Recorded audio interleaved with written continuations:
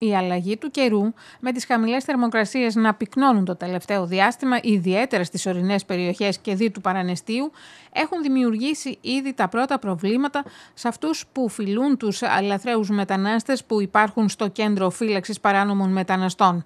Οι αστυνομικοί για να μπορέσουν να ζεσταθούν τα κρύα βράδια ανέβουν υπαίθριες φωτιές, ενώ παρά το ενδιαφέρον που επέδειξε η πολιτεία για να βρει το συγκεκριμένο κέντρο, δεν έχει επιδείξει το ίδιο ενδιαφέρον για τους όρους φύλαξης αυτών των ανθρώπων, αλλά και για την καθημερινή τους διαβίωση. Έτσι αύριο με μια συμβολική κίνηση ο Δήμος Παρανεστίου θα παραχωρήσει καυσόξυλα προκειμένου να ζεσταθούν τουλάχιστον οι αστυνομικοί που φρουρούν τους παράνομους μετανάστες.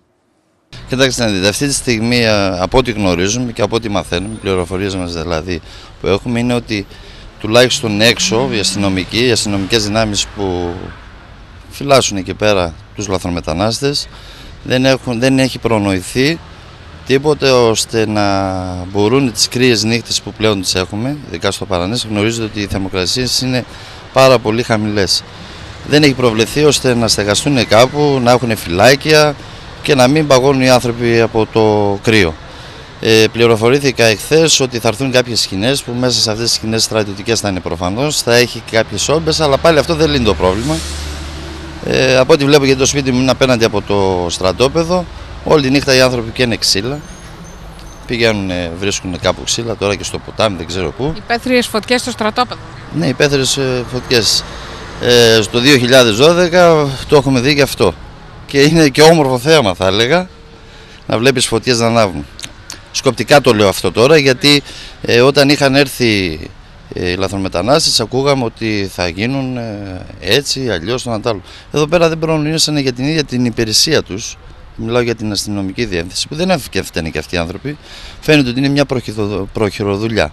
Δεν προνόησαν ώστε οι αστυνομικές δυνάμεις, που και αυτοί είναι άνθρωποι, είναι ζωντανοί οργανισμοί, το χειμώνα, τώρα δηλαδή που έχουμε εμείς ήδη χειμώνα, να μπορούν οι άνθρωποι να μην παγώνουν από το κρύο.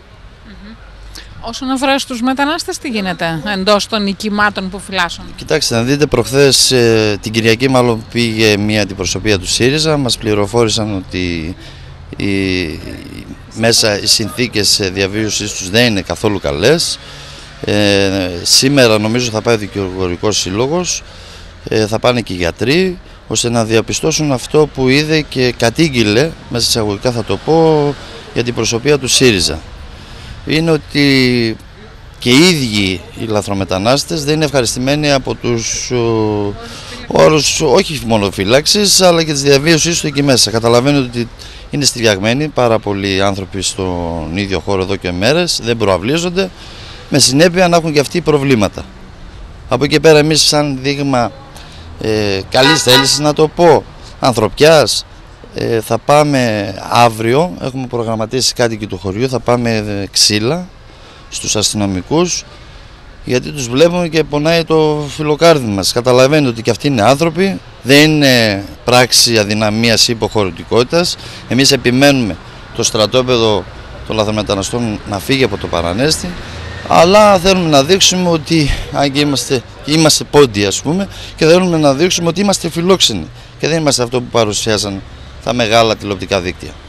Πιστεύετε ότι θα φύγουν οι λαθρομετανάστες ή οι παράνομοι μετανάστες που είναι τώρα στο στρατόπεδο; Κοιτάξτε να δείτε, κάναμε κάποιες ενέργειες μέσω της Οικονομικής Επιτροπής του Δήμου, πήραμε κάποιες αποφάσεις, εξοδοτήσαμε έναν δικηγόρο για περαιτέρω ενέργειες.